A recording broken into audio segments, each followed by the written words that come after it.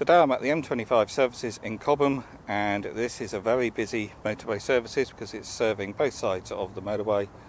And uh, there aren't too many services on the M25 as I'm sure you'll know.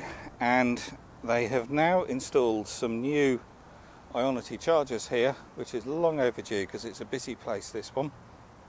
So there is now a total of 18 Ionity chargers here they're all up to 350 kilowatt CCS2 charging and it's great to see.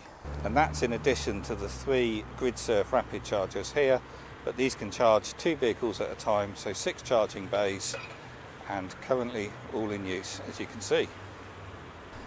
So GridServe have recently put their prices up, so they're now charging 79 pence per kilowatt hour for DC charging. But looking on ZapMap, it shows that Ionity are currently charging 74 pence a kilowatt hour. But anyway, it's good to see expansion at the motorway services. Long overdue here because this is a particularly busy site.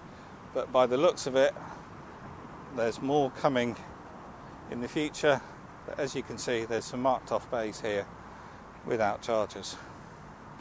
But what we need to see is more accessible bays and bays which are suitable for people that tow, whether that's a caravan or a trailer, without the need for them to unhitch it first, or bays accessible for large vans.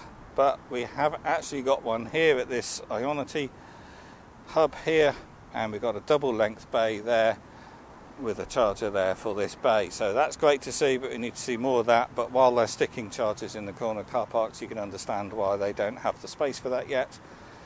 But anyway, that will probably do for this video. If you found it useful, please do click the thumbs up. That really does help. Do subscribe to the channel. And if you want to see other videos on the UK charging infrastructure, I'll put a link to a playlist in the video description where you can see those videos. Okie doke, I'll see you on the next one.